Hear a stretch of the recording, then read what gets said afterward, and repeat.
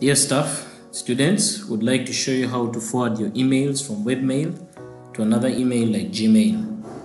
We already put this up on our knowledge base, which is answers.mak.ac.ug.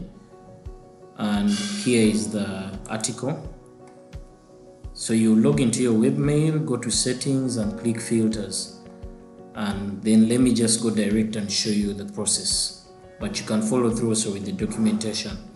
So I'll come to webmail and log in.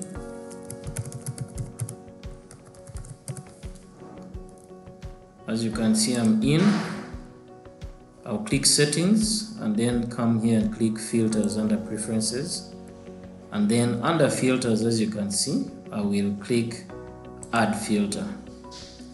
And then this is where I can put the filter name, forwarding. And then for incoming mail, ensure that you click all messages. You check that. And then you come under execute the following actions and choose this action. Send a message copy to. You can now type your email address there. It could be Gmail, something like that. And then you click save.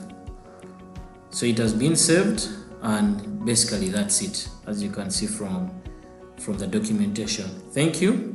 Let's continue building for the future as we make sure that ICT works for us.